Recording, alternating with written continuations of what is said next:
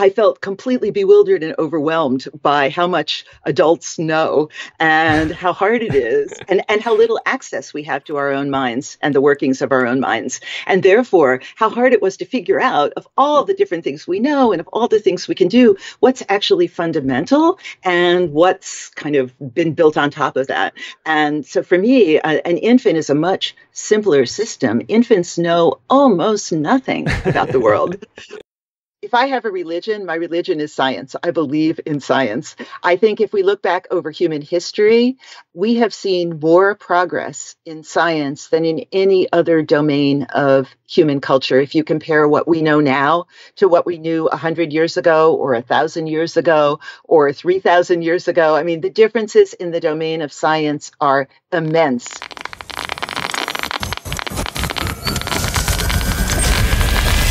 This is Brain Inspired.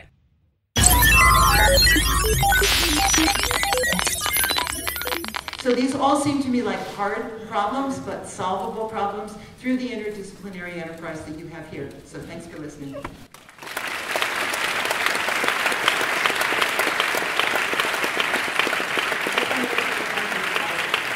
That is the sound of people clapping for Liz Spelke at the end of her keynote talk which opened the Cognitive Computational Neuroscience Conference in Berlin, which I just got back from. The goal of the CCN conference is to bring together ideas from the study of natural and or artificial intelligence to characterize the neural computations uh, that underlie our complex behaviors. You've heard me on the show interview a bunch of the speakers from that conference, so it was really fun to go and connect with them in person as well. The conference was a good time. It is a strong and budding uh, community. And being there, I really got the sense of the challenges that there are uh, for the different disciplines that study natural and artificial intelligence to come together. And you can sense the desire to continue to come together and work across disciplines and, you know, figure all this stuff out. I won't give an overview of the conference here, but I will have plenty more to say about it in the coming weeks as I have on some of the other folks who were there uh, and get their impressions as well. And I want to say thank you. Many of you approached me to say hi while we were there, uh, and that was super fun to meet many of you in person. So thanks for the kind words, uh, the encouragement. I even got some critical feedback, which was awesome. So that's uh, much appreciated, and I look forward to seeing you in the future. There were some of you that I missed that I had intended to come say thank you to for supporting the show or for being on the show. so I will correct that next time. And man, what a strange experience uh, on the last night of the conference for me to hear uh, music from my show playing in the background during the last little mixer party uh, among the other music. So I was among the crowd and I started kind of feeling this vague familiarity rise up in my thoughts and kind of had this feeling like, oh, that sounds like a good song. Uh, and, and only then did I come to realize it was the song from my show, and someone had put it into the musical mix.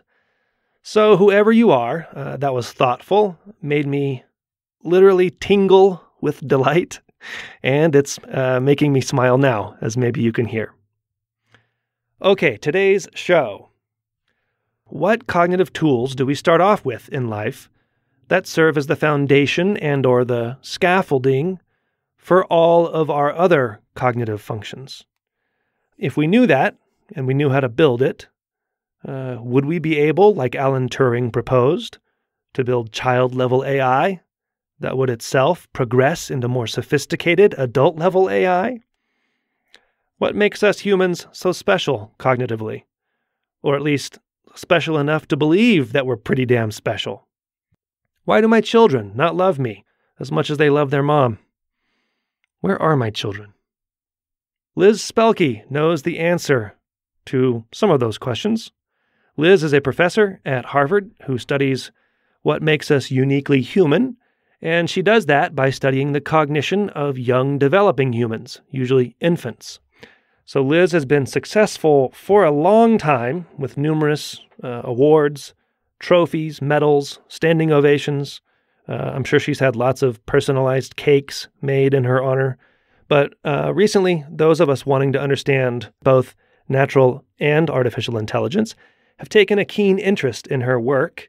Um, so we talk about her experience of the recent rise in interest in her work uh, from the AI community and her work on cognitive development. And we discuss some of the core cognitive abilities of infants, uh, what we all enter the world with, and the limits to those abilities at that age, and why those limits uh, could help us better understand intelligence. And finally, before getting into a few general topics, we talk about why she thinks that language is perhaps the key thing that makes us as humans special. Uh, although, as Liz knows, this is not a new idea, uh, that language is the key thing, uh, we do have new means of understanding why and how language might be the key. We did get cut off multiple times while I was interviewing her um, because of Harvard's apparently unreliable internet, uh, but hopefully I pieced it together well enough that you either can't tell or it's um, not too distracting. Show notes are at braininspired.co slash podcast slash 48, where you can also learn how to support the show through Patreon. Thank you to my recent Patreon supporters, Matt, Carson, Dean, Anand, and Ben. Uh, I've mentioned on the show that I'm uh, creating some content that will eventually be available to purchase. But if you're a supporter of the show, you will have access to and be a part of that uh, creation process. Okay, Wishing you all a full recovery from jet lag if you traveled like I did to the conference, and otherwise, wishing you success and fortune in your endeavors. I hope you're doing well out there. Okay, here's my conversation with Liz Spelke. Liz Spelke, baby wrangler extraordinaire. Thank you for bringing your adult talents to the show today. Uh, and welcome. Thank you. Liz, how often do you get questions from parents uh, about their own kids and what to do? as as infrequently as possible. Uh, I have I've, uh, from all the years that I've studied infants, I've learned really nothing that parents want to know about how to make their kids happy, how to get them to go to sleep at night, any of that. I wasn't terribly successful at, at that as a mother uh, or as a grandmother, but basically all I've learned about it has come from that experience, not from what I do with babies in the lab. All right, I'm crossing off the rest of my questions here then for the day. All right, so right.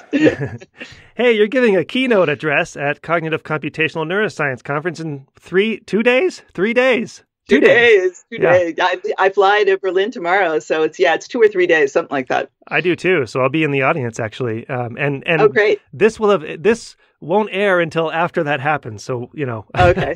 so we'll see how it goes here. So, um, but but. Yeah so, so that's the Cognitive Computational Neuroscience Conference, and it's all about bringing together AI people with cognitive science and neuroscience people. And you've given lectures at MIT's Brains, Minds, and Machine uh, course, which are online. They're great resources for people, and of course, I'll link to those things. I'm curious if the interest in your work from the that the AI community, from the AI side, has increased in the past few years, I had hoped that this would be the case like 40 years ago. On my first sabbatical, I guess it's not quite 40 years ago, but in 1982, I took my first sabbatical after grad school and four years of teaching um, and went to MIT to the newly founded Center for Cognitive Science. And I was all excited to be interacting uh, with people in uh, computer science over, you know, how can we model what we see babies doing in the in the experiments that we're doing. And I think it was just too early at that point. But you know, there was a lot of interest in modeling adult cognition, which you know was was in vogue for a while, and then of course went through a series of changing seasons. Uh, there was also interest in modeling simpler animals like flies, but I didn't get a lot of traction at that point when I talked about infants to that community. Uh, so it's really only quite recently that I think maybe the uh, both the uh, cognitive sciences have gotten to a point in understanding human development, and also hmm. computer science has gotten to the point in building intelligent machines where we can start to have a productive uh, conversation. So I'm excited that that's that's interest is starting now. Oh yeah, because it's it seems to be running rampant right now. You're getting a lot of knocks mm. on your door.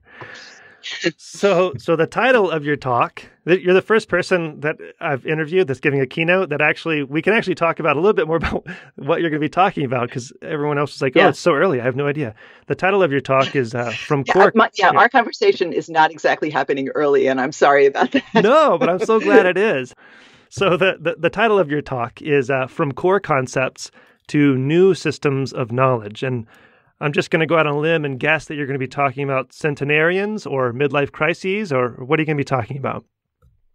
No, I'm going to be talking about infants. And uh, part of my talk is going to be about the, the part of my talk that I'll, I'll give with more confidence is going to be about what the interdisciplinary field of developmental cognitive science has learned about what infants know at the beginning about the world that they're then thrust into and able to uh, to learn about. But then the question that I'm really most fascinated by is the question where does development go from there? And uh, mm. how do infants begin to figure out what particular world they've been uh, born into and what the people around them are doing and what objects are doing and how you can move from one place to another in this world and so forth? How you develop basic common sense over the first five years of life or so before you get in the business of going to school and uh, getting formally instructed. Kids are doing a lot of learning. Some of it is the kind of learning that we see in animals as well depending on very basic general uh, mechanisms that evolved long before we did. Mm-hmm. Uh, but some of it, I think, are uniquely human learning processes. And those, I think, are the processes that yield whole new systems of knowledge, not just new facts about the world or new individual concepts one by one, but whole new systems like mathematics or mm-hmm. uh, uh, science. And, and some of these, like um, the system of natural numbers, kids come to before they get to school. They're uh, constructing this new uh, knowledge on their own. And I think their course of development is going in a very different direction from what we see in other animals in that respect. So uh, I'm very interested in that. Uh, I don't know how kids do that. But I think we're at a point where that's a tractable question if you can bring together the kinds of people that CCN is bringing together, people mm. working in multiple disciplines on the question what is intelligence and how do you create it in a machine? How do we understand it in our own minds? And I think one one way, certainly not the only way of going at that, is to ask how do we understand the mind of a very young child who's taking the first steps in deploying this human intelligence that we have. So I, I mean, just going through my little my little scientific uh, education Uh, one of the things that really scared me was development. I thought, God, it's it's such a mess. How are we going to figure? I, we can't even figure out adult cognition, for instance, how are we going to figure out development? So, so I'm glad you've I'm got glad it you're backwards. oh well, think, we'll talk about more more about that. So so yeah. Yeah, no, I mean I think you have it exactly backwards. I when I started graduate school, I felt just the opposite. So uh, the field I was going into it, it, as a grad student was cognitive psychology, not uh-huh. developmental, and uh, I felt completely bewildered and overwhelmed by how much adults know and how hard it is, and and how little access we have to our own minds and the workings of our own minds. And therefore, how hard it was to figure out of all the different things we know and of all the things we can do, what's actually fundamental and what's kind of been built on top of that. And so for me, uh, an infant is a much simpler system. Infants know almost nothing about the world. Uh, so yeah. way more tractable problem than trying to understand you and me or yeah. I mean, speaking of trying to understand what's going on in minds well uh, you know it's it's a little easier to ask adults questions than it is to ask infants questions so we'll we'll, we'll get to the how you actually probe that in just a bit here but um but what do you think we need more of or better of to to uh, to start probing these questions that you're asking do you, do you think we need better experiments better models more data better theory etc Yes, and yes, and yes, and yes. Yeah. You have to choose no, one. I mean, I think, need, choice. I think we need. Yeah. No, no, no. Uh, I think we need. I think we need more of all of this. I mean, so one thing that I think research over the last forty years has shown is that we can we can ask babies questions and get answers from them. Sometimes their answers are really surprising, and that's I think when they've been most useful and moved research in new directions, moved us to ask new questions and look at our own abilities and infants' abilities in mm. new ways. Mm. Um, so I think yes, we can do that but I think that the kind of behavioral research that I do is much better at figuring out what infants know than at figuring out how they know what, what they know or why they know what they know. and it's the how and the why questions that we really want to answer. And for that, yeah. I think we need a broader interdisciplinary effort. We need to understand how brains grow and learn. We need to understand um, cognition in non human animals because for all that we take are learning in new, uniquely human directions. Nevertheless, it's based on basic systems that we share with other animals. Um, and I think we need to understand we need to work with computational models to understand better what kinds of functions these brains and minds are performing that's uh, allowing learning to happen. Hmm. Well, uh, is there anything in particular that you want to take away from from being at this conference in a couple days?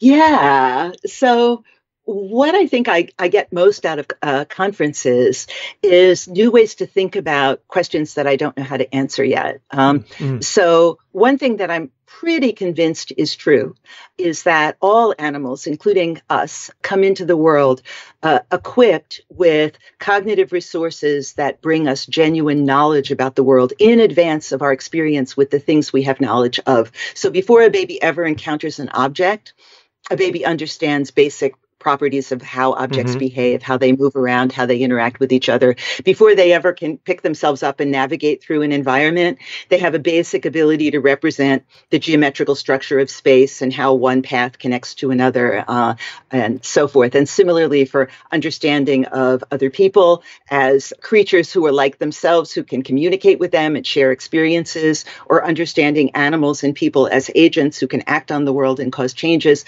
These are basic conceptions that are there there and ready to support children's learning at the very beginning of life. Mm. Uh, but how do they get there?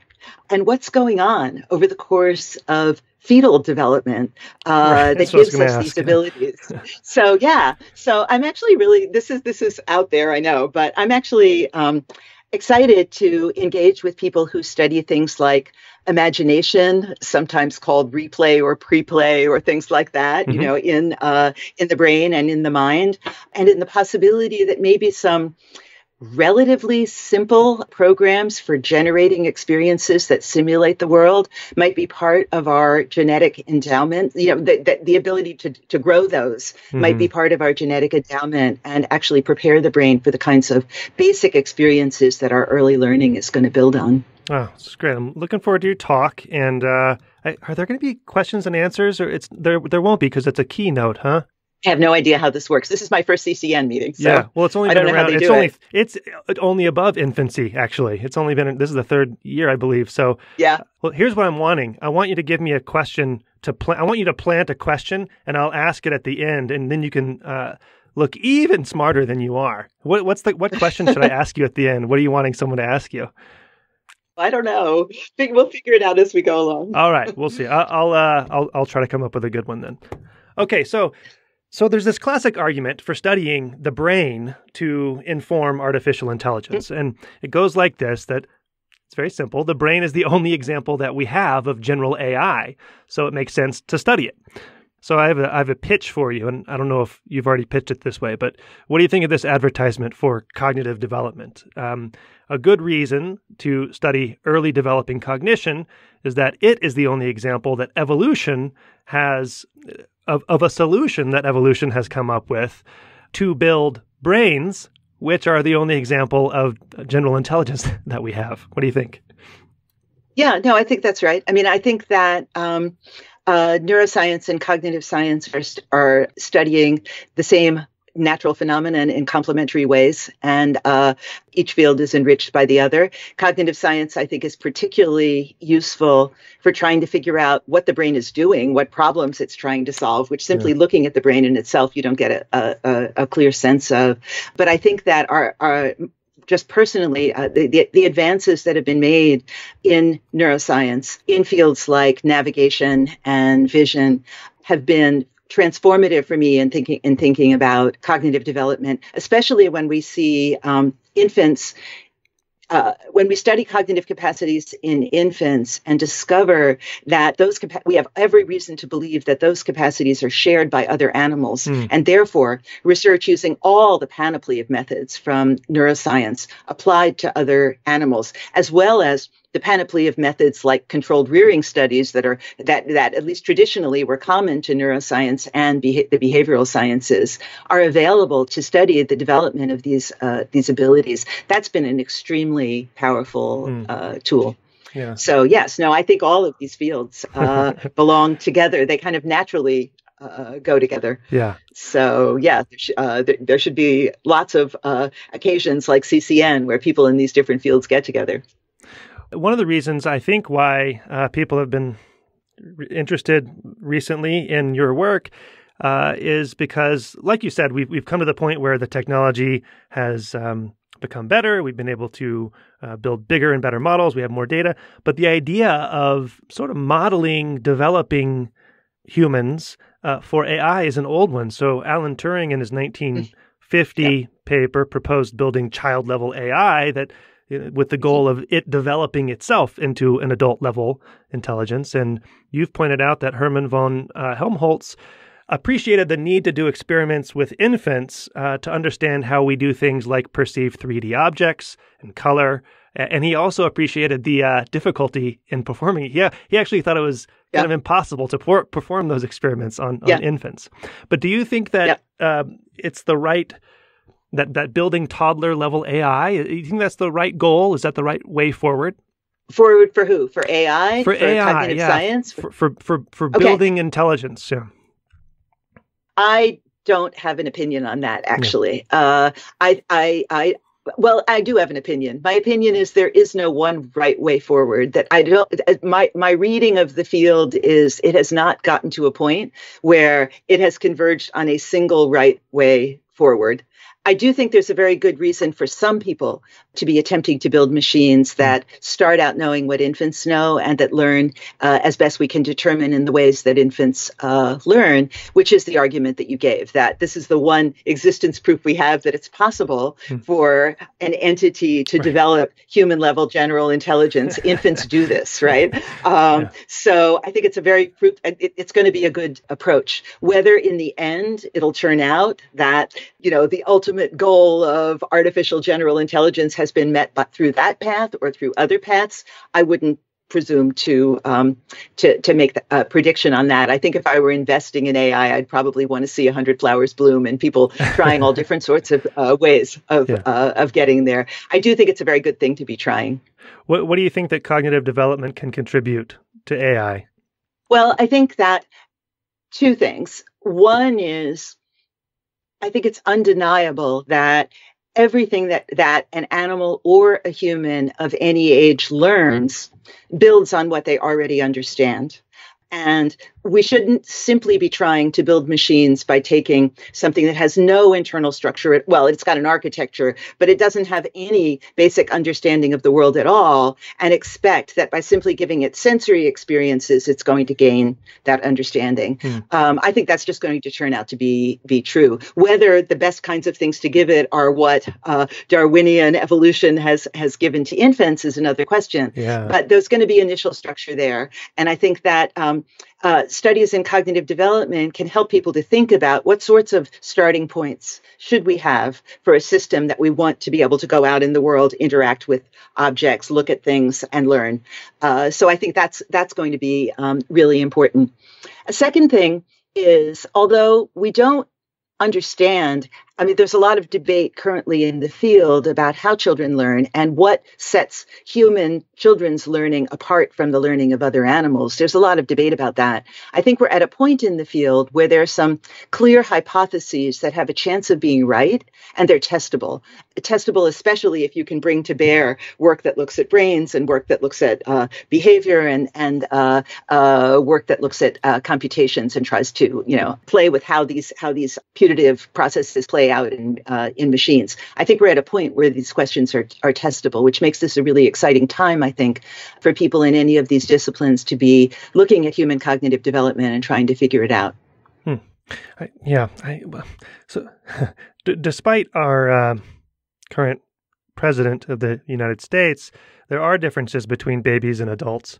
And so, what are some of the differences between infants and adults that uh, that you might see? I mean, there are obvious differences, but what are some that you might see as key to understanding how to build intelligent adults uh, and or machines? Yeah. So, first of all, I don't want to lump all ages of infancy together. I mean, to me, the fundamental distinction is not between infants and adults, it's between what we start with and where we go from there, the processes that take us from our beginnings to the kind of general common sense intelligence that um, uh, five year old children show uh, to me, that's kind of the pinnacle. After that, you know, you go to school, you're instructed. it's a little more yeah. straightforward, ruined. Yeah, it's a little more. Uh, uh, it's not quite. It doesn't have that same self-initiated spark that I see uh, there uh, early on. Yeah. Um, so I think the fundamental difference that, and it's very different from what I thought we were going to see when when I first started studying infants.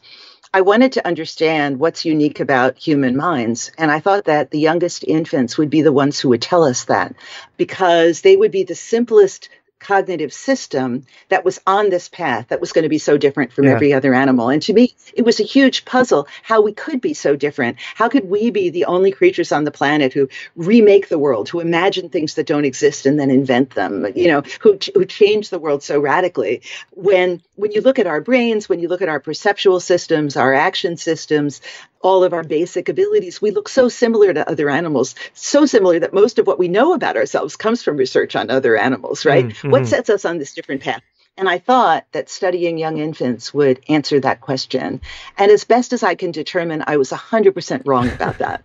Uh, that what we find when we study young infants are these fascinating and wonderful abilities to represent objects that aren't there and track them over time and uh, anticipate how things will interact with each other, to represent number and quantitative relationships between different uh, sets of things, to represent the spatial layout and figure out how it would appear from different directions and how you could get from uh, one place to another. We see all these wonderful abilities. But when we turn to other animals, we see the same abilities in them. And I think it's only at about the end of the first year of life that I see really convincing evidence that babies are moving in a direction that's going to carry us away from other animals. And the point at which I see that or think I'm seeing that anyway. I'm, I'm, I, I, I, my hunch is that that's where the change is happening.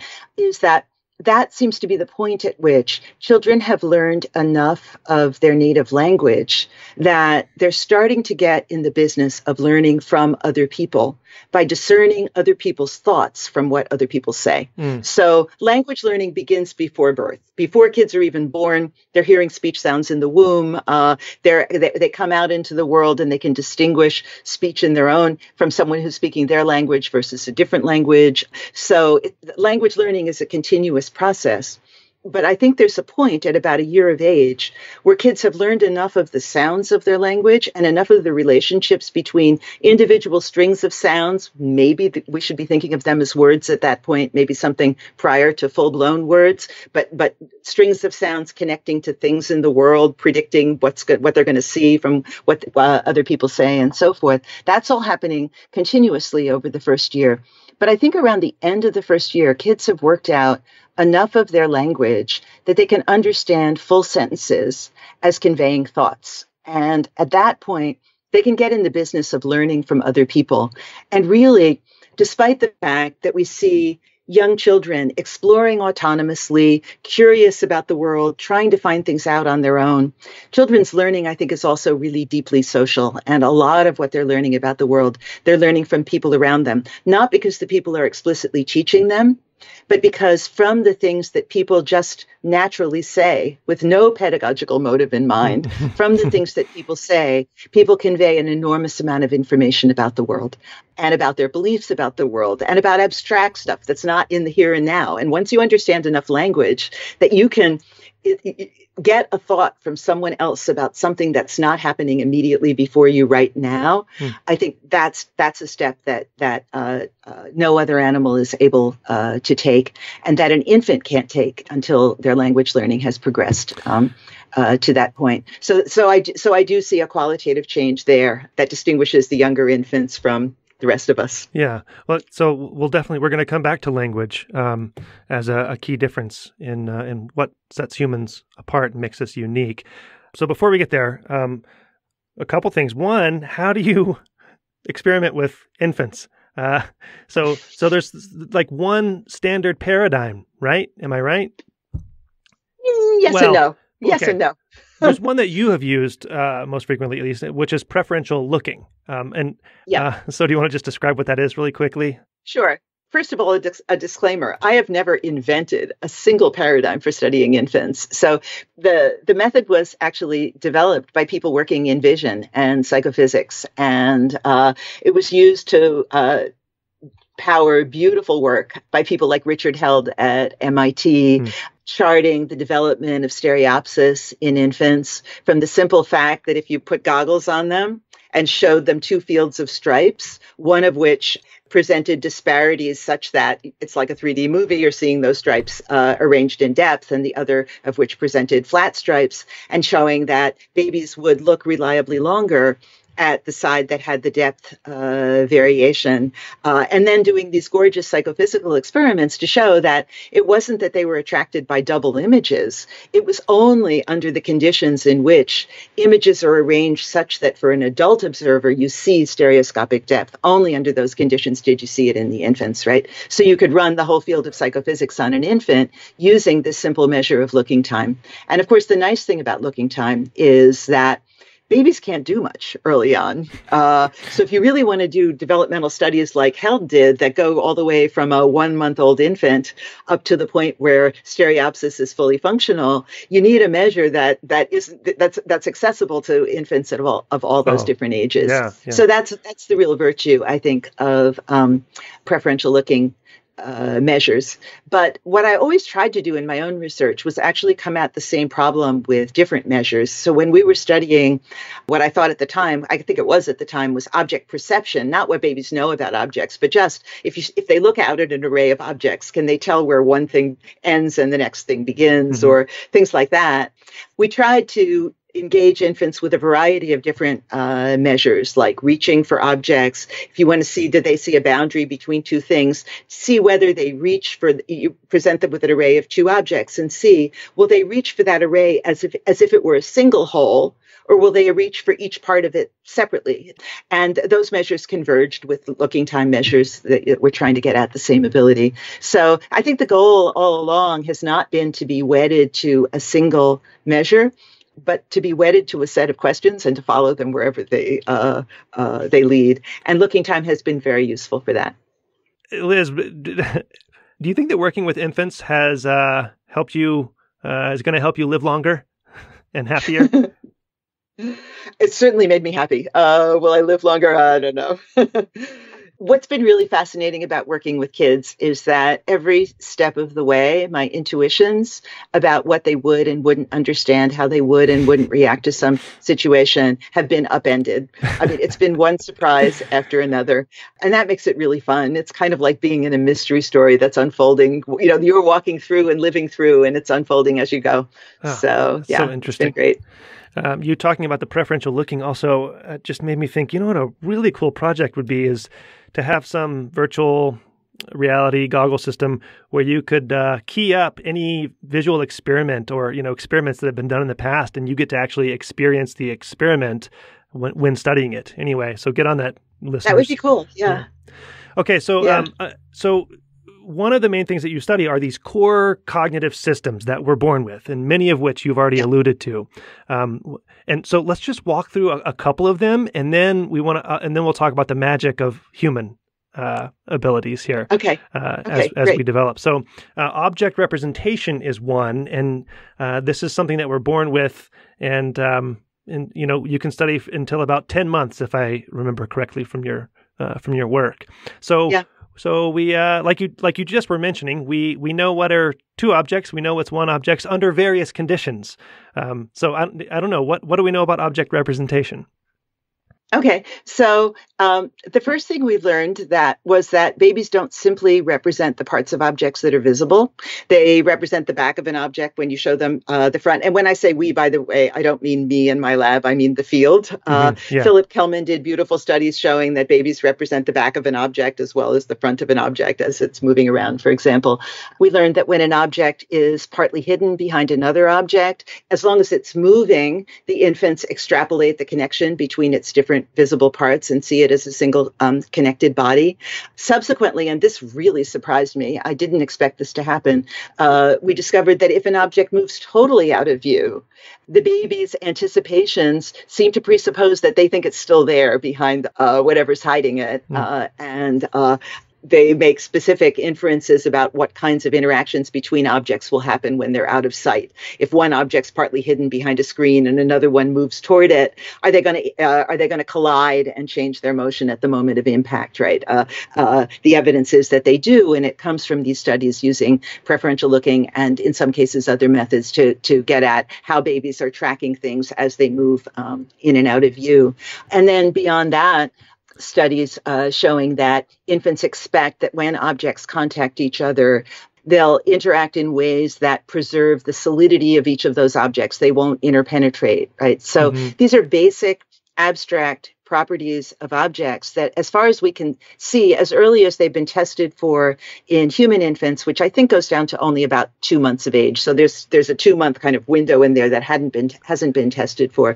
As far as you can see, um, as early as they go, they're present. Now, what's happened with that information is lots of people started doing studies with monkeys or oh. uh, with cats or eventually all the way down to newly hatched chicks. And the nice thing about doing studies on these other animals, of course, is that you could look at their brains, but you can also do controlled rearing. And there were beautiful studies done using controlled rearing methods with chicks showing that the very first time that a chick is exposed to an object, you see the same abilities that you see in um, in human infants. Actually, I shouldn't say the same because the chicks are actually a little bit ahead of, of the infants. Yeah. they've got better attention, they've got better working memory. So the chicks will actually solve problems that Piaget showed infants don't manage to solve until they're like eight months of age. The chicks will do it uh, on first exposure to an object. Now, they're in a high state of motivation because the method that's used in most of the chick studies is imprinting. So that object for them becomes mom, but they can be imprinted to mom under a very restricted set of conditions where they never get to touch her, where they never see her move out of sight behind an occluder or anything. And then the very first time they're presented with events where she goes behind an occluder, they expect that she won't pass through a wall, that she'll still be there behind that occluder. She won't blip out of existence there and appear somewhere else and so forth. Uh, so that's an example, I think, of where when we do studies on infants, they suggest questions that can be asked of animals, mm. and the two fields can converge to uh, give us much more leverage in understanding what the role of experience is and isn't in, in, uh, in this development, and eventually to, uh, uh, to understand what the brain is doing and what the brain mechanisms are for tracking objects over time, representing their existence, and how a brain comes to instantiate these abstract properties of objects like continuity and solidity and so forth. Um, but but you you started out by asking me about core knowledge, and and one side of it is that the knowledge that young infants have and that other animals have seems to capture very abstract properties of the world, like that objects exist continuously, they move on connected paths, uh, they occupy space uniquely, so two of them can't be in the same place at the same time. Uh, but the other side of core knowledge is it's extremely impoverished. Mm. Uh, there's most of what we take for granted as properties, obvious properties of objects, infants and chicks seem to be oblivious to. So infants in particular uh, have been, you know, i have been really struck by the limits to what infants understand about objects and also about the environment that you navigate through and about agents, you know, animals and what they, and their, their goals and intentions and, th- and things like that. Um, so infants have virtually no idea what an object ought to look like. Uh, my first hypothesis when we started studying object representation in infants was Gestalt psychologists will have it pretty much right. They'll expect objects simple and regular in their shapes. Oh. Not true at all. Oh. Okay. They don't use, uh, babies don't use those Gestalt properties at all for singling objects out, figuring out where one ends and the next one begins. They were completely oblivious uh, uh to all of that. Oh, don't they primarily use motion? It, um, is that one yes. of the limitations? Yes. Yes, they do use motion. They use, but they use motion specifically that's consistent with there being bodies that have stable boundaries that are all in, internally interconnected that are cohesive remain connected as they move around. So yes the uh, motion is the primary source of information they get about the cohesiveness and the and the um, persistence over time and the locations of, of, of objects as they interact and move around um, in a scene. But other properties of objects like what they should look like these are things that the babies seem to be quite oblivious to. Mm-hmm. And that that distinction shows up in every one of the domains that uh, people have looked at, domains of knowledge in infancy. So if you if you think about uh, what do infants and animals, and here it's the work in animals that I think is, is, is especially informative, understand about the world that we navigate through. I think the evidence is pretty strong that uh, what animals represent is the ground surface and its borders and that's pretty much it.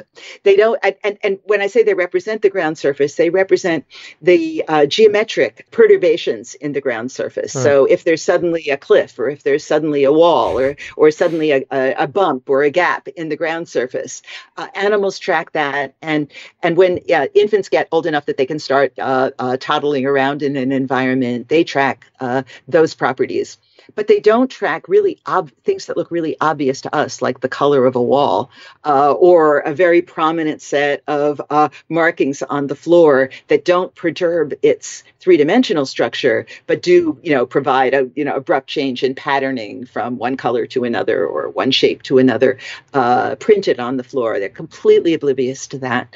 Uh, so I think that that this is a this is a kind of a useful guide that. Um, maybe the way to think about the the first steps of learning is that kids have everything to learn about the local environment that they're going to find themselves in. You know what is my parent going to look like? Oh that's another beautiful example so babies come in the world expecting there are going to be people who will attend to them and engage with them and talk to them, make noises, vocalize, uh, uh, speak to them.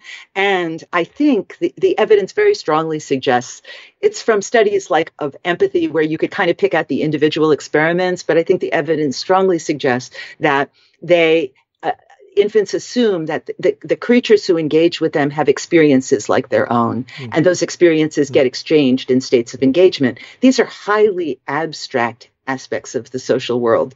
But if you ask, what do they know about what people should look like? And you can do that by giving them a choice between two faces a face of a human and a face of a sheep or a bird, right? Or you can do biological motion. You can give biological motion of the sort that a human body produces versus of the sort that a hen produces.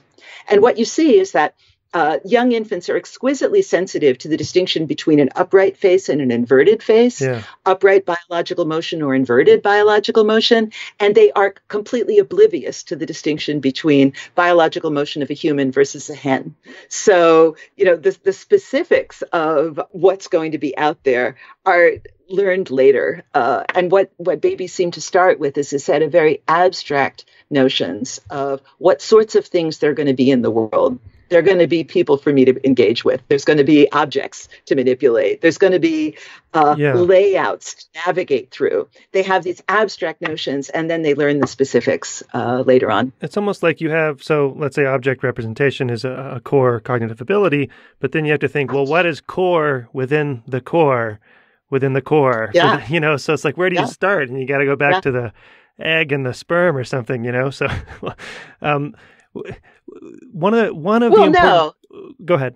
I mean, no, I don't want to go back to the egg and the sperm. And I don't think that asking for what's the core means getting into an infinite regress of some sort. Yeah. I don't think that's true, right? I mean, I want to go back to the beginning of the child's encounters with an external world that actually has objects in it, that actually has places to explore in it, and ask at that point, what do kids already expect that world to be like? Uh, mm. and what are they in a, and what are they neutral about and in a position to learn about?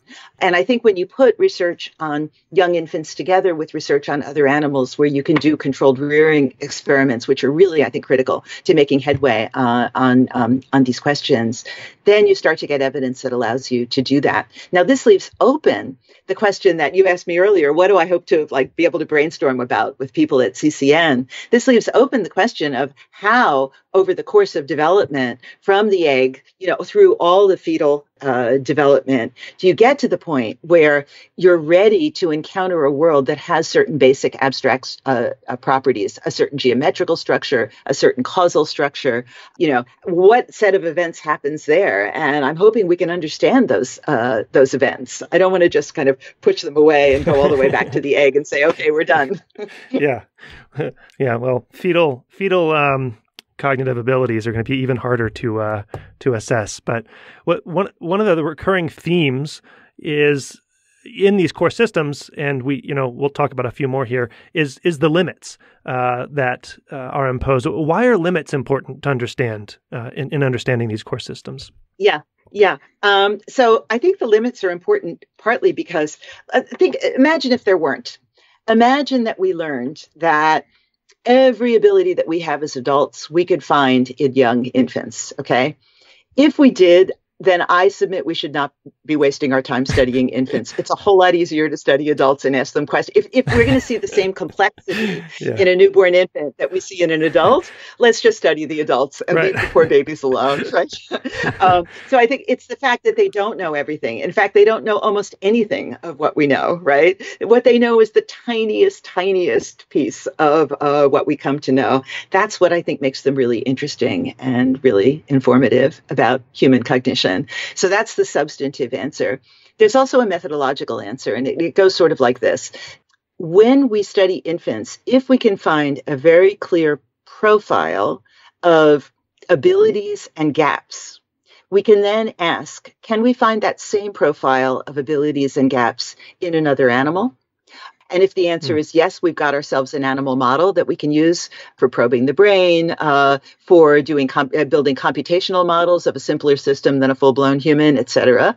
We can also ask, are there cognitive and brain processes in an adult that show the same profile of limits as we see in the overt behavior of the infant? And that'll help us to understand what happens to the infant's abilities. So, so one question that I stayed up nights over for a long time, a couple decades ago, was what I'm studying in the infants, is this a set of, is this scaffolding? Is this a uh-huh. set of abilities like a reflex that keeps you that keeps the infant from uh, getting killed when they're a baby, but that's basically just going to be kicked away and they're going to learn to understand the world in some different way? That's possibility one. Or are the abilities that we see in infants the foundations of all of our abilities throughout life? If it's the second, then we should be able to find cognitive tasks where we can elicit those same that same profile of performance in an adult and we also want to be able to find ways of probing adult brains mm. where we'll see brain responses that accord with that pattern of performance. And I think where we've looked, we've seen that in a number of domains. It, the, the, domain where it's richest uh, is um, action planning, navigation, spatial reasoning. Mm. I hmm. mean, there I think is the absolute richest domain where we can see the system that we find in infants in behavioral uh, experiments at work in our minds as uh, as adults adults, and of course, of course, also at work in the minds of rats uh, and the brains of, of rats, where yeah. where most of the insights came from originally. Um, yeah. So yeah. Uh, so so I think limits are important for all of those reasons. And then by the way, once we once we find these abilities in adults, there's a whole other enterprise that can begin, actually two enterprises. One is to ask what's the relationship between the core abilities in the mind of an adult and all the fancy things that the adult does and the infant doesn't, right? Mm. And then people like, I, I love the work of people like Stan Dehaene who show studying mathematicians that when you give a mathematician some high level problem to think about in mathematics, they activate, among other things, they activate the system that the ba- that's active in a baby when they see an array of 20 dots and compare it to an array of 10 dots, yeah, right? Uh, yeah. That you, know, you can draw line of uh, continuity there. You don't know what the causal relationships are or what the computations are, but at least you can say there's a continuity there, which gives us something to go on in uh, probing these abilities uh, further. So that's one enterprise. The other enterprise that becomes possible at that point is now you can turn to children, and maybe this is what you were um, asking me about before, and uh, when you brought up children, um, you can turn to children uh, who are just taking their first steps into a uniquely human domain. So, say first graders who are just starting to learn arithmetic or just starting to learn to read, and you can ask, can we find evidence for this same system with the same profile of abilities and limits that we see in infants at work in some subsystem in the child Yeah. at the point at which they're developing an understanding of symbols and this other uniquely human stuff. And and and can we move their understanding of sim you know symbolic math say around by exercising their non-symbolic abilities? So there's that, that's kind of another research enterprise that i think opens up. And all of it ultimately is anchored to this ability to to to get hold of these very, very simple systems with these very distinctive profiles in infancy, and then look for those profiles elsewhere. In that sense, I think it's kind of psychophysics applied to central cognition, cognitive science. Oh, very good. So, okay, so object recognition, one uh, aspects of recognizing objects, one core cognitive uh, ability, and and uh, just as a teaser, with regards to language, I, I think it's fascinating that um, with regards to language and limits that uh, pre-language uh, infants uh, consider like two things uh, to be when they join. I, am not describing the experiment well enough, but um, let's say uh, the example you give is a truck and a duck, and they come together and um, they're manipulated, and babies, infants don't uh, can't distinguish between the two of them. They think it's like one object, right? When they're stuck together, yeah. even though they, they look completely different. But then once they have the, the faculty of, and they know the name duck and they know the name truck, then they can distinguish. So it's the language that's key for being able to distinguish these two objects relative to one, which is fascinating. Yeah. But, yeah, this is work by by Fei Xu and Susan Carey, and it's had a huge influence on me. Oh yeah, and I think especially Fei has carried it uh, forward and showed that gone beyond the, those initial studies and showed that you don't even once kids uh, understand sentences, you don't even need to use familiar words like duck and truck. You can look into a box and you can say, "Wow, a blicket." A toma and they expect there to be two objects in the box right? Uh, yeah, as if you know they, they've gotten to the point where they understand language enough that they can now use language to learn more language and make sense of nonsense words like blicket and toma and they can use language to learn more about the world and make a get uh, you know an educated guess about what's inside that box. There's going to be two things two, yeah. she show, uh, Fei Xu showed. There's going to be two things. They're going to have different properties so kids are at the point where uh, they can use language to learn more language and also to learn about the world. Uh, and I, to me, that that was the uh, revelation. Not that the younger child doesn't use the different features of the objects right. to figure out this thing that came out on one side with duck like features and the thing that came out on the other side with truck like features are two different things right? I mean that's the that's the problem that the kids are getting wrong. And that and a bunch of other problems of that sort yeah. are, are uh, uh, what the younger kids are getting wrong. But when you think about it it's not always the case that all of the features of an object that you see at one time will be there when you see that same object at another time if it i mean if the truck was a transformer uh, it might change its configuration while it's hidden if it's an animal it might change its posture uh, yeah. so the kids are relying on a subset of the information about objects that we're capable of relying on as adults. Uh, but they're but but what they're doing within you know the the limits of their abilities is they're relying on the most reliable information about objects. But what happens then once language comes along is you can go further and you can see what conceptual distinctions other people are making when people use two different words uh, to talk about things inside a box. They're they're indicating to you that there's two things there and that there's some important difference between them. Because hmm. if there weren't they would have said a blicket and another blicket right, right? uh, and i think kids are very very good at picking up on that. Adults say these things naturally. I don't think we're trying to teach kids anything when we talk like that but we're talking in a way that maximizes the efficiency and the relevance of our communications. And I think kids are built to take advantage of that, to assume that that's the case, and to use it to learn about the world. And to me, that's what the um, Xu and Carey experiments that you referred to are getting at. Yeah, it's fascinating. Um, we, a few of the other, so there are six core systems that, at least in my memory, that, that you've talked so. about. Um, another one, I'm going to rattle off a few and then we'll kind of dive it a little bit deeper into um, one or two more of them before we move on. One of them is just uh, uh, the faculty of number.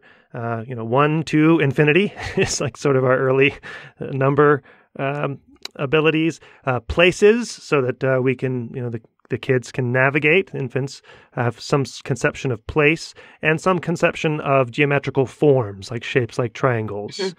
And things like that. Mm-hmm. And what I want to dive a little bit more deeply into, because we're going to come back to it, I think, is uh, that there are two ways in which infants represent agents. Well, people, I people, suppose. Yeah. Yeah. One is people as agents, so that they, they distinguish between something that's inanimate and animate, which is um, this ties back to my talk uh, with uh, Talia Konkle, who um, talks about animacy versus inanimacy in our visual cortex, um, and she'll be talking yeah. at CCN too. And, and the other is uh, uh people as souls, as people. You know. Yes. Um, so. Yes uh, so I don't. So let's wax poetic uh, for a moment, just about about what what those core systems are for agency and and people. Yeah.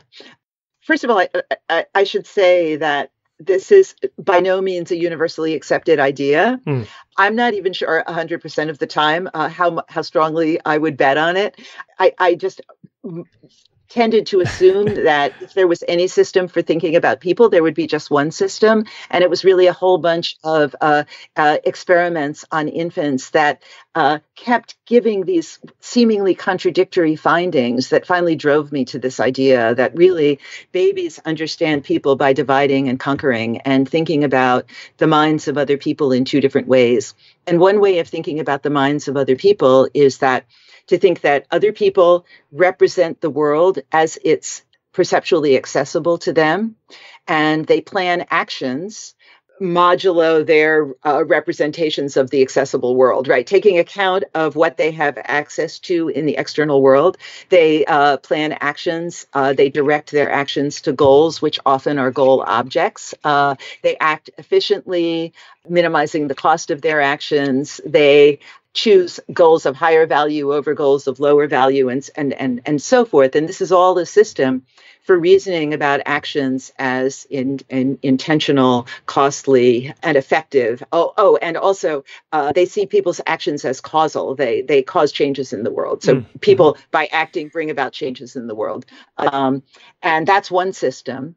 And another system is for seeing people as having experiences, like the child's own experiences, and engaging with one another. And in states of engagement, sharing those experiences, conveying their experiences to the other person, and picking up on the other person's experiences of them. And the evidence for this, I think, comes from two sources. One, which is hard to manipulate and be really sure about, is 50 years worth of experiments, or observations is maybe a better term than experiments, observations on children's reactions to other people, children's tendency to imitate the actions of other people who look at them, their high sensitivity to another person's direction of gaze, the fact that a child will look much more at a face whose eyes are directed at them than off to the side. Yeah. Uh, all these uh, their their sensitivity to other people's speech, not what they're saying, but the fact that they're speaking to the infant and modulating their speech in the way that adults do when they talk, slowing it down the way they do when they um, uh, talk to infants. Uh, these kind, all, all of these things suggest that babies are prepared to be especially attentive to other people that we, looking at them from the outside, would see say are potential social partners for the for those babies. Um, but the other line of evidence comes from experiments where you put the baby in the position of a third party observer to an interaction between two other beings who have some of the properties of social beings, namely faces, emitting sounds that uh, seem to be contingent on each other and so forth. And there, I think the evidence is more convincing that infants distinguish between other people who are in a state of engagement with one another versus people who are not engaged with each other. Uh, they make different predictions about who's going to approach who, who's going to imitate who, who's going to talk back uh, to who in, in those different situations. And none of the constraints that seem to matter when you're reasoning about somebody's causal effects on the world like are they in contact with the thing that they're causing a change in mm-hmm. are they acting efficiently none of those things seem to apply in the social domain I, even for us as adults i mean if anything i think social interactions that are too efficient seem rude, right? They're ineffective. You're supposed to have small talk at the start of your yeah, interviews, right? Yes, I, yes. You know, I really think that you know there's a different set of considerations that comes into play uh, when you're communicating with a person versus when you're acting on an object and trying to bring about a change in it. And kids, are, I, th- I think, are able to view people, uh, other people, in each of these two ways, maybe even simultaneously under some uh, conditions. But the systems that are looking at what somebody's doing on on objects in the world versus who are they engaged with and what are they feeling and what are they trying to convey uh, that those are that those are two different cognitive systems i think. Yeah okay so we have uh, a bunch of early core cognitive systems and they have these properties. That they're they're fairly independent. They um, you know they, they're shared by other animals. So at this point we're just another animal. Um, these are innate, so that you know they're when we come out of the womb, they're there, ready for us. Uh, you talked about some of the limits. That's a, a, core feature of these core systems is that they're limited, um, and they kind of set the foundation for for learning things later in life and becoming human, as it were. Um, some things like uh, like solidity, we know innately right? Like from these core systems, but other things like gravity, we have to learn over time. Do you think it's important um, in general? Do we need to emulate in AI systems how infants develop these cognitive abilities over time? Or can we just skip and go in different orders, you know, and just build in what's necessary to the AI systems? Yeah, I think that, I think that's a good question. And since I don't work in AI, I'm probably not the best person to answer it. My own hunch would be that it's very worth trying hmm. to build an AI system that starts with the abstract notions that that human infants and other animals seem to start with. I think this is worth trying, and then see uh, how that system, uh, what it takes to get that system to learn the rest. Uh, but but I I wouldn't want to make the argument that that's the only path that yeah. makes sense uh, to try. Uh, people should try lots of different things. Well, one of the things that you've said that you, you think makes us, gives us a fundamental advantage and makes us human, uniquely human, is the ability to take these core systems and combine them and to have crosstalk between them to form abstract concepts. Um, right. And I've, I've heard you talk about both language and social cognition, and you've already talked about it today as examples of what, what make us special. How so so I am on board, right? You have these these core cognitive abilities, and then you're going to combine them, and then that's going to uh, give rise to abstract concepts. How might this yeah. happen, right? For instance, like like we were just talking about with uh, with people. So you have the core system of agents, and you have the core system of like a social uh, beings, and then you add them together, and you get people that we have abstract yes. concepts for. And th- this sounds like it's a great strategy for AI, like you just said. So two questions. One is just the grand scheme of like, oh, how the hell would that happen? You know, computationally, for instance. But the other thing yeah. I, I, am thinking of is so so non-human animal animals have the same core systems, but are missing this combinatorial magic. And and so what is That's that right. magic? What's the magic? Yeah. Uh, so that I think is the great uh, uh, open question. I mean, another way to say that that question I think is what's distinctive about human cognition relative to other animals? And a third way to say it is how do children learn? And and hmm. what puts children on a path of learning that's different from the learning that we see in other animals? I think those are three different ways of stating the same question and i think we don't know the answer. And what makes me so excited about this particular moment in our intellectual history is i think we have the tools that we need to get to the answer. Mm. so what I want to offer in my in my um, CCN talk is a hypothesis about this, oh. uh, and it's a hypothesis that could easily turn out to be wrong. I think it's the one that I would bet money on at this point, though, uh, and that is that um, what's special about us is actually a very old idea. What's special about us is that we have um, the capacity to learn and use a natural language, and natural languages um, have a number of properties one of the most important ones being a property that I only came to appreciate over the last 10 years or so, largely through uh, interacting with computational folks. Hmm. Uh, uh, so maybe I should start with that property. The thing about natural languages that I used to think was just a, a, a bug in the system, right, or an inconvenience, uh, and that I now think is a po- super positive feature of languages is that they're learned. And they're learned from other people other people you learn a language from people who engage with you and who share their thoughts with you by speaking. That's basically uh, how languages are learned uh, by kids.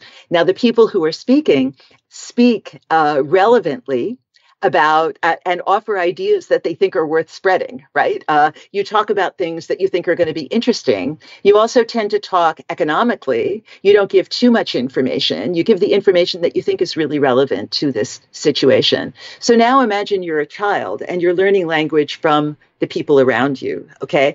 Um, the languages that you're learning, all of the human uh, languages, are productively combinatorial. So you have a lexicon, but you can always add new words to it. And now, in these days, with all the insane pace of technological innovation, we're learning, we're adding new words to them all the time, right? So you can always add new words. But once you know the meanings of the individual words and the classes, the grammatical classes that they belong to, now you can form infinitely many expressions yeah. and magically somehow you get the meaning of the whole expression from the meanings of the words and the ways in which they've been uh, combined right so that means that language gives kids a very powerful mechanism for expressing any concept that any human could have past present or future but it also gives them a terrible search problem. And this is where I think interacting with computational folks uh, really got me going. Imagine you're an animal and you have an innate language of thought, and it has all of the power that we use in using a natural language to express any concept that we could possibly invent or design or anything else. Put all of that into a mind of an animal and ask, what is the animal going to do with all of these concepts? Which one should they draw on in any given situation, right? They've got these gazillions of concepts in there. What is each of them going to be useful for? Right. And that's the problem I think that we solve by learning our languages, uh, learning them from the people around them, uh, around us, who speak about things that they think are relevant to the current situation and express their thoughts about that uh, uh that situation. What this allows for is that a child who's learning a language, some of the very mundane features of um, language learning, like word frequency effects. Kids learn frequent words before they learn infrequent words, mm-hmm. right? Mm-hmm. The more frequent words are going to be the words that the people in that particular culture that the child is learning to make their way in consider to be more worth using to express thoughts, right? So they're going to be getting the more useful concepts before the less useful concepts. They're going to be getting them in contexts where people find them to be relevant.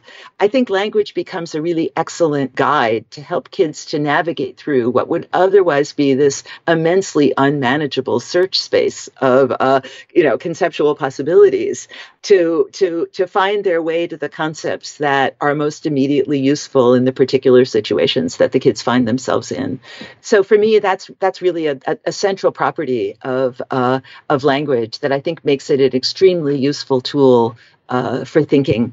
Uh, and I think it would be very fun to, to um, engage with uh, people in artificial intelligence about, who, have made a lot, whole lot of progress in getting machines yeah. to understand and produce language, to think about how to leverage that to do something with language that children are already doing at nine months, nine to 10 months of age in Fei Xu's experiments. They're using language to learn about the world. They're using what people say to figure out what's out there as well as to learn more language itself. Uh, and, and, so, yeah, I mean, that's my current hunch as to what sets us on a path different from the other animals, starting with equipment that's so similar.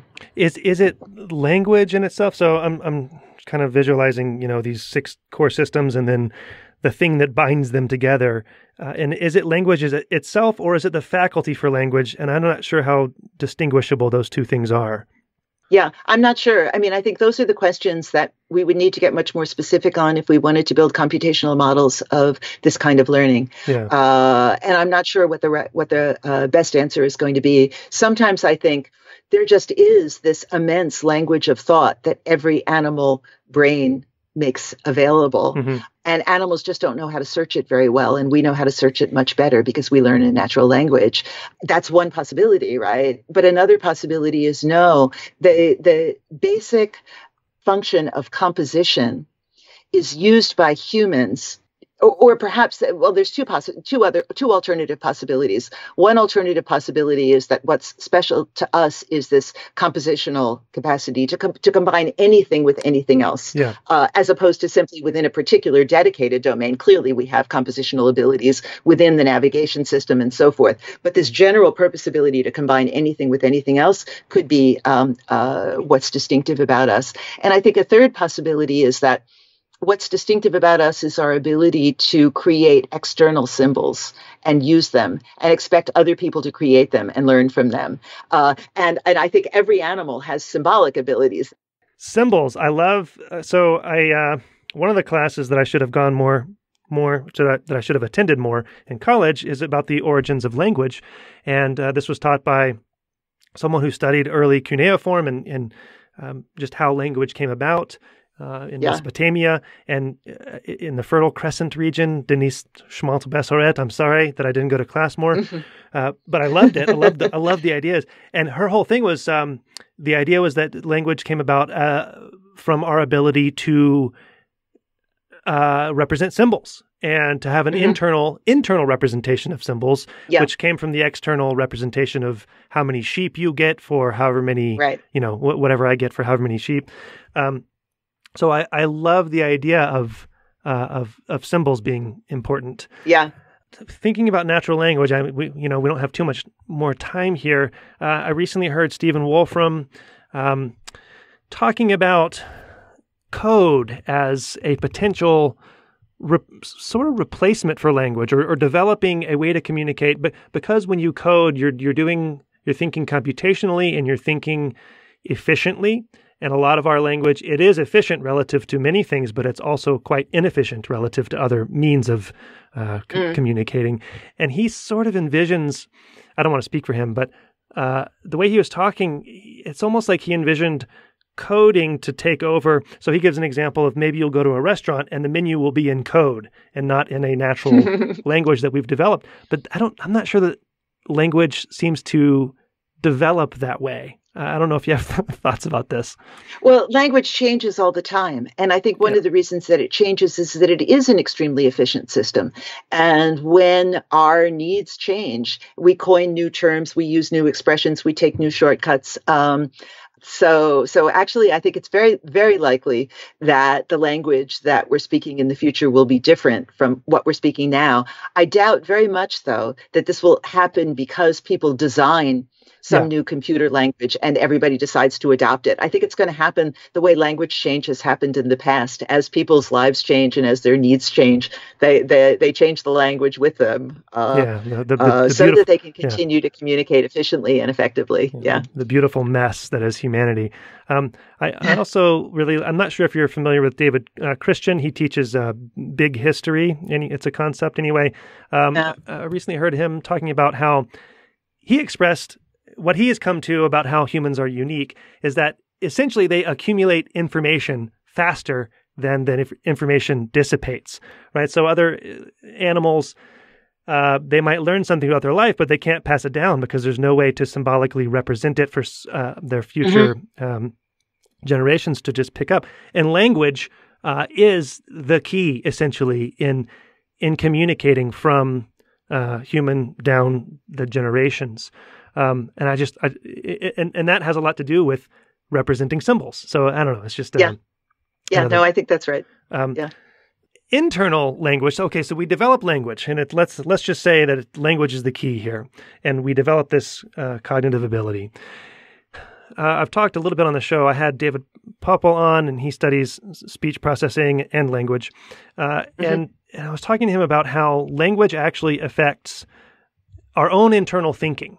Um, so not only can we express some version of our internal thoughts, but by expressing them either internally, writing them down, or expressing them in words, it can actually uh, change what what we think.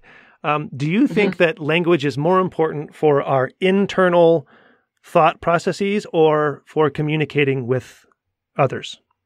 I think it's crucial for both. And I think that when we use it internally, we're communicating with ourselves in effect. Uh, so I don't see these as distinct functions. It's, it seems to me that language makes explicit certain concepts and and and relations which that which makes them both communicable and and also gives us a medium in which we can think about them uh, better in many cases and and you've also mentioned uh, that the, the, an early like social ability, one of the, these core the core social system that we're built built with, that we come into the world with, yeah. uh, directly leads to sharing of feelings or, or empathy. Do, do, you think that empathy will be important to build into AI or to build the, the core system that will lead to the learning of empathy? And do you think that will be difficult? Wow. Yeah. Um, I don't know what I think. Actually, your question brings up a, a, a question about the future of AI, which, mm-hmm. uh, which I don't have a good answer to. It's a question I've been thinking about a lot. It, it is what kind of AI do we want? What kind of AI is going to be good for us and useful for us, right? Yeah. And will it be useful to have machines that not only have our common sense, but that have our feelings and that interact with us the way people do? Do we want machines that are going to be replacing people in effect? You know, and I can think of lots of situations where the answer would be yes, we would want that, right? Rather than having some really you know, bored, overworked person taking care of me in a nursing home in 20 years, right? You know, maybe it would be better to have like a very sympathetic machine doing that. I don't know. I can think of at least five people I'd love to replace. In any case, uh, I think this is a really important question. Uh, I'm not convinced that we want machines to have empathy and i'm fairly certain that we don't that there are some machines that we don't want to have empathy let me give an example from today we don't need to think about some sure. some glorious future um, so my children and consequently their ch- grandchildren uh, have as a member of their household alexa Oh, yeah. And parents talk to Alexa. They ask Alexa what the weather's going to be tomorrow. They ask her to time something that they're cooking. They they mm. ask her for music and so forth. They don't say please and thank you. Uh-huh. They don't expect her to be able to answer hard questions. They treat her as a fairly stupid but useful machine. And I think, and I've, I've wondered in watching my grandchildren, how do they feel about Alexa? And I think they feel Alexa's a machine. And I think that's a good thing. I don't think I want Alexa to start showing empathy and to start giving my grandchildren the idea that we've brought back slavery. Alexa has is human and we're treating yeah. her like our personal slave, right? You, that you don't need to be polite to, that you can simply, you know, get things from uh, without asking nicely. You know what I mean? I feel like we don't want that. Um, so I'm not sure. I'm, uh, uh what I mostly feel is our conversation has focused to the extent that it's focused on AI. It's on the question uh, can research on human development inform the development of smarter machines, more effective uh, machines. But I think there, there's another question we could ask, and I think anybody who's working in AI should be asking themselves this question, uh, which is what kind of AI should we be developing with the ultimate goal of human benefit? And for that, it seems to me it would be very useful to take another look at human minds and the development of human minds and ask what are the circumstances in which human minds thrive, in which we develop a healthy sense of ourselves, healthy relationships with other people, and so forth.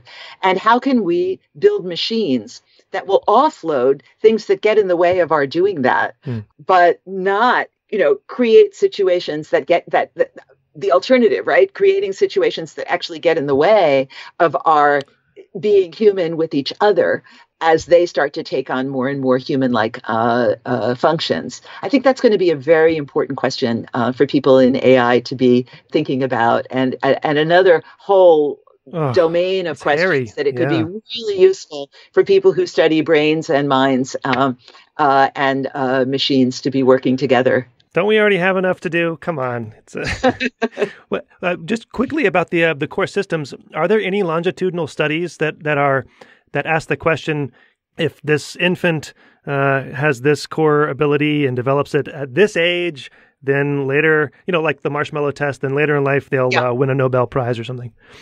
Yeah, it's not clear. Uh, it, interpretations of the marshmallow test have, have, sure. been uh, changing changing recently but but but I take your your question there's lots of studies like that they show correlations there's a huge lim, uh, limit to those studies they don't tell us what's causing what sure. so we know that you can use yeah. um, a child's core abilities to predict what's going to happen later but what but what we really want to know is what what's driving uh, that those later developments and what role are the core abilities playing in that one thing i've gotten very excited about going beyond correlations is doing field research in education and we're starting to do studies in india and other countries oh, where cool. we see can we move children children can, can we enhance children's readiness uh, taking especially children who are at risk of not doing well in school can, if we if we're able to play with them as preschoolers can we enhance their readiness for learning school math mm. or uh, we hope to look at things like learning to read in school, learning to learn from other people in, in, in, in school by giving them the kinds of experiences that middle class kids will routinely get, but that may be less accessible to kids living in poverty.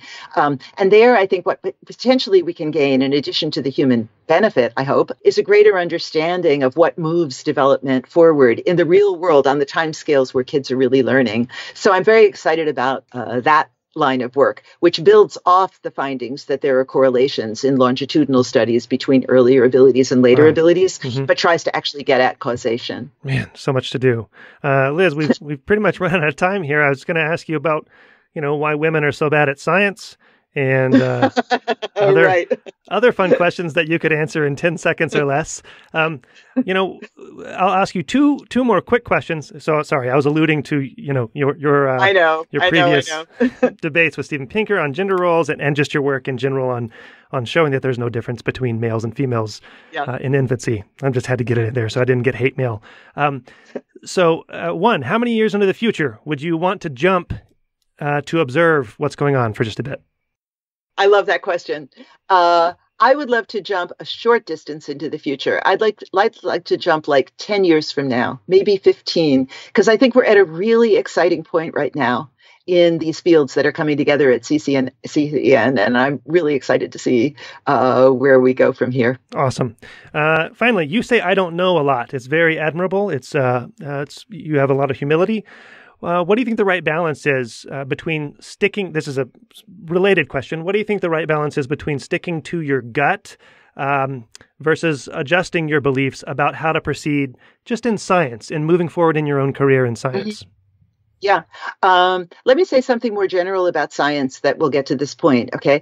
I think I, if I have a religion, my religion is science. I believe in science. I think if we look back over human history, we have seen more progress in science than in any other domain of human culture. If you compare what we know now to what we knew 100 years ago, or 1,000 years ago, or 3,000 years ago, I mean, the differences in the domain of science are immense. And I think they dwarf the differences that we see in any other domain. And that raises the question what made this happen? Uh, why has science been so successful? And I think the reason it's been so successful is twofold.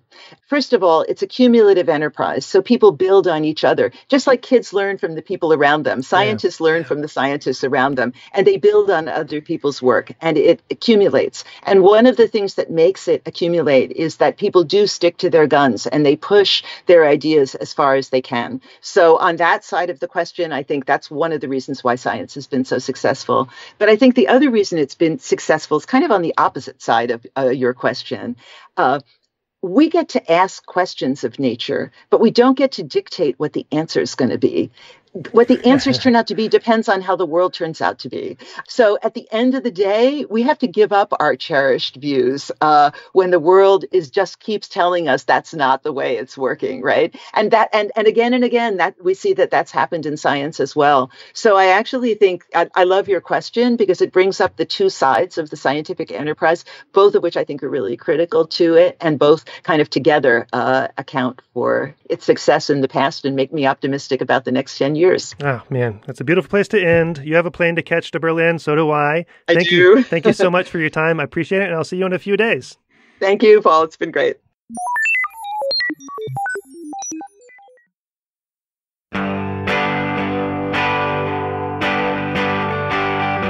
Brain Inspired is a production of me and you.